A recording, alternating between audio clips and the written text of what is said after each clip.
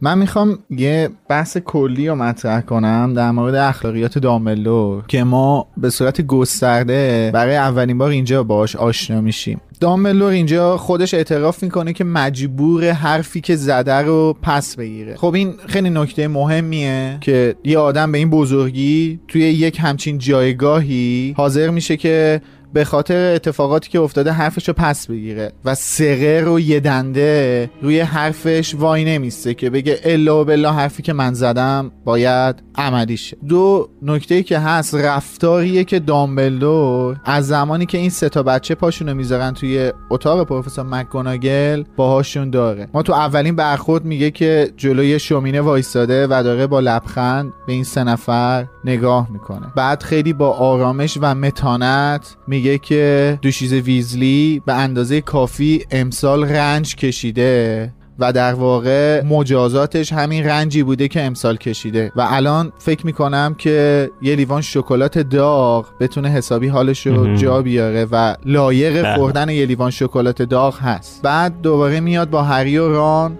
روبرو میشه. یعنی یه بار اول سال که بهشون گفته بود من اخراجتون می‌کنم. اگه یه بار دیگه قوانین مدرسه رو زیر پا بذارین اینجا میاد حرفش پس می‌گیره و جدا از اینکه حرفش پس می‌گیره اینا رو شروع می‌کنه به تشویق کردن. یعنی بهشون مدال خدمات ویژه مدرسه میده امتیاز گروه میده. ببین اینا خیلی چیزای مهمیه. من فکر می‌کنم یکی از دلایل این که همه ما دامبلور رو دوست داریم این رفتار منصفانه ایه که با همه اقشار داره. ما هرگز بیانصافی نمی‌بینیم از دامبلور حتی تو بدترین شرایط با بدترین آدما هم با بیانصافی برخورد نمی‌کنه. ما همینجا می‌بینیم که دامبلور خیلی سریع میگه که شاید تام ریدل باهوشترین دانش آموزی باشه که توی هاگوارتس پا گذاشته. یعنی اینکه این داره دشمن خودش رو بی ارزش نمی‌کنه. این خودش باز نکته مهم دیگه ایه و خب این انصافه باعث شده که ما هر کدوم به یه دلیلی دامبلور رو دوست داشته باشیم. اون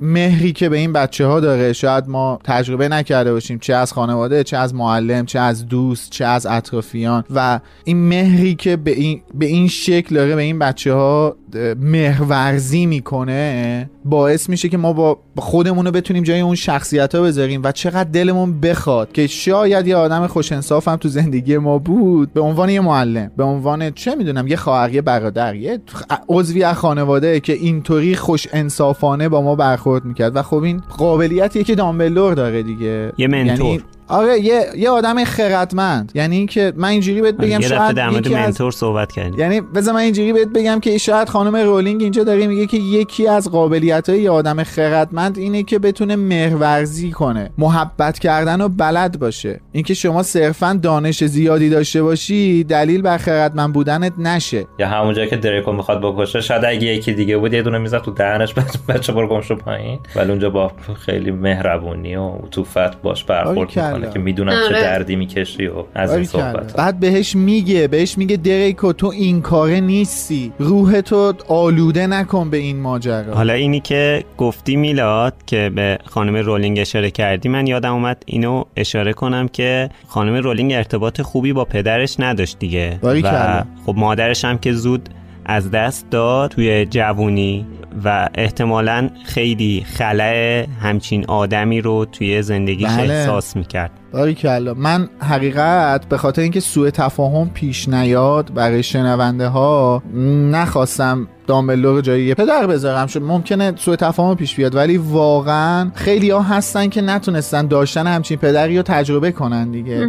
پدری که درکشون کنه دستشون رو بگیره پشتوانشون باشه کمکشون کنه. متاسفانه حالا توی نسلهای گذشته تو فرهنگهای گذشته معمولا پدر یه نقش تند و تیزی داشته. بعد از اینکه رون میره اول داملدور بابت وفاداری که هری بهش نشون داده توی تالار ازش تشکر می‌کنه. اینم دوباره از همون چیزاییه که میلاد میگه آه. یعنی اینکه ببین آدم تقریبا 100 سال اختلاف سنی داره با هری.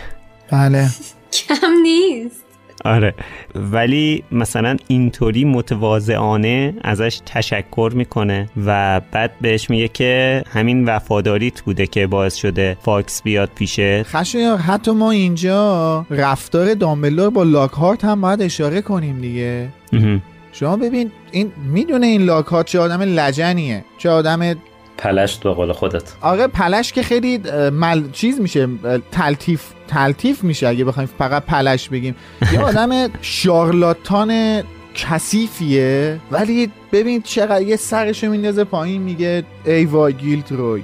با شمشیر خودت به خودت زخم زدی؟ یعنی باز هم حتی داره, داره دلسوزی هم می‌کنه. یعنی یه جورایی داره مثلا انگار امیدوار بوده که این بابا از یه جایی به بعد اصلاح بشه. از یه جایی به بعد درست بشه. به قول تو آدم بشه. انیمال آدم شو. یعنی شاید هی تو ذهنش داشته اینم مرور می‌کرده. حیف انیمال آره واقعا حیف انیمال حالا این وقاری که توی رفتارش هست اصلا خیلی خاصه.